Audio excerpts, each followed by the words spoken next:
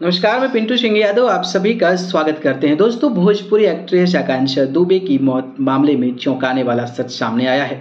Forensic जाँच के बाद पोस्टमार्टम को प्राथमिक रिपोर्ट में मौत की वजह को लेकर बड़ा खुलासा हुआ है। हालाँकि पोस्टमार्टम रिपोर्ट को अभी तक सील, बंद करके रखा गया है।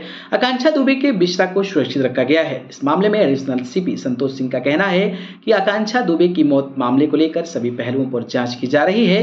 पुलिस सूत्रों के मुताबिक पहली नज़र में आकांक्षा की मौत हैंगी, यानी कि फांसी के कारण ही हुई है। तो वहीं आकांक्षा दुबे के बिस्रा को सुरक्षित रखा गया है। आकांक्षा दुबे की मौत के बाद फॉरेंसिक टीम ने जाँच की है। इस जाँच के मुताबिक कमरे की ऊंचाई की नाप बॉडी की हाइट गले के निशान के अनुसार और बॉडी के प्रेशर के कारण ही आकांक्षा की मौत हुई है, जो कि एक सुसाइड माना जा रहा है। कमरे से मिली है खोली शराब की बोतल। आकांक्षा की मौत के बाद पुलिस को उस कमरे में खोली शराब की बोतलें मिली है। इसके अलावा फंदे से लटकता शव बिस्तर पर था। इसके मौत की वजह को लेकर सवाल उठ रहे थे कि यह हत्या है या आत्महत्या है।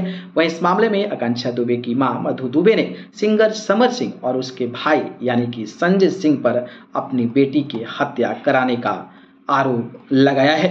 वहीं बात करें तो समर सिंह के भाई ने धमकी दिया था। मधु दुबे जो आकांक्षा दुबे की माँ हैं। उन्होंने आरोप लगाया कि समर सिंह के भाई संजय सिंह ने इक्कीस मार्च को आकांक्षा को जान से मारने की धमकी भी दिया था। इसके चार दिन बाद ही आकांक्षा का शव फंदे से लटकते मिला। इस घटना से चंद घंटे पहले आकांक्षा एक दोस्त की बर्थडे पार्टी में भी गई थी। उसके बाद वो रात करीब दो बजे की वक्त के साथ होटल लौटी और उसके बाद इंस्टाग्राम पर लाइव आकर रो रही थी और सुबह जो खबर आई वाकई चौंकाने वाली थी और खबर ये थी कि आकांक्षा दुबे ने इस दुनिया को अलविदा कह दिया है। लेकिन जिस तरीके का पोस्टमार्टम रिपोर्ट आया है और जो शख्स ने उनके जन्मदिन पार्टी के बाद छोड़ने के लिए गया था, उसका क्या रिपोर्ट है? अभी तक पुलिस जो है वो कहीं ना कहीं देने में बच रही है और इसको अभी तक सुरक्षित रखा गया है। आगे का जैसी खबर आएगा, सबसे पहले मैं आपको बताता रहूँगा।